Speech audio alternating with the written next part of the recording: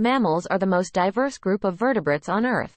There are over 5,000 different species of mammals, ranging in size from the tiny bumblebee bat, which weighs just 2 grams, to the enormous blue whale, which can weigh up to 200 tons.